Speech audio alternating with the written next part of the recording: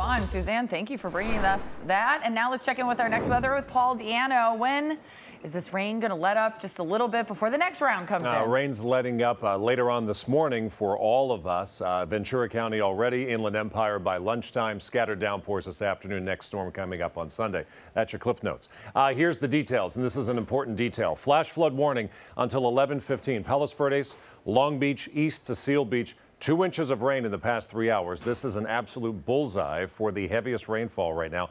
Look at these rainfall totals. Harbor City, just north and west of Long Beach, has received three and a half inches of rain just this morning.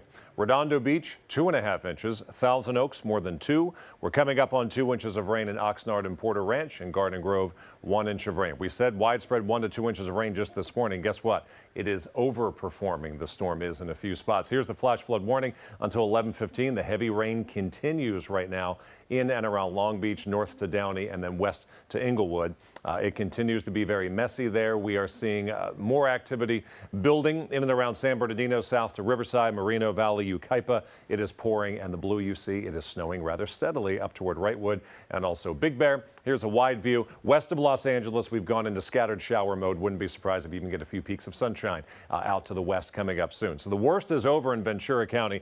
LA County nine, now through 9:30, another 45 minutes or so. Orange County, you'll have to wait until 11 for things to calm down. Inland Empire until about lunchtime. The farther east you are, the longer the rain is going to last. Wind advisory behind the front. We'll see wind gusts today, 35 to 45 miles per hour. And the beach is not the place to go to the next couple days.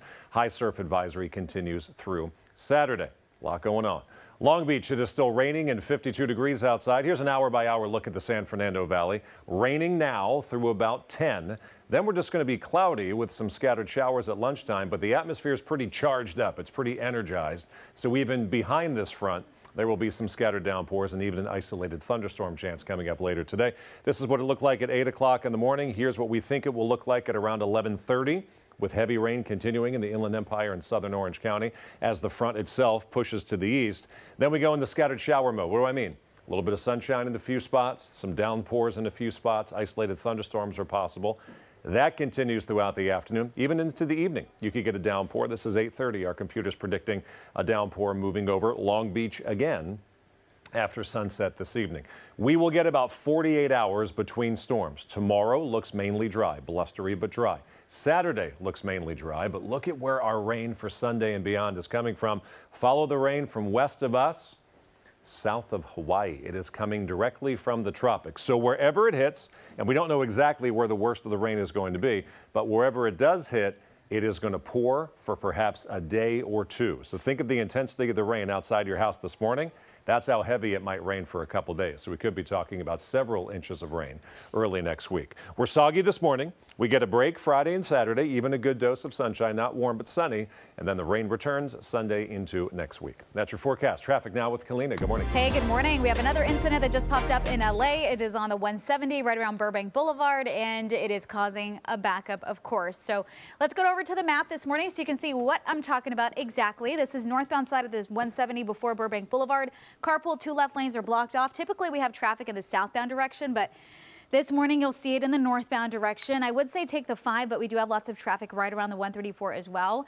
Just look at all of the red out there in all of these squares. These are incidents in some capacity, whether it's a driver that lost control, a stalled car, something with lanes blocked off. We just have a lot going on in LA, Orange County, and the Inland Empire. This is still here. This has been here for hours. Flooding reported on the 710 southbound right at PCH. All lanes are impacted southbound.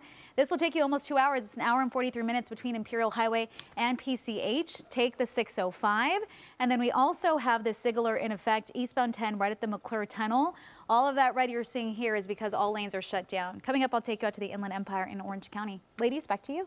Kalina, thank you. The time right now, 8.52. Straight ahead, the new change to licenses causing controversy in Florida. Then at 9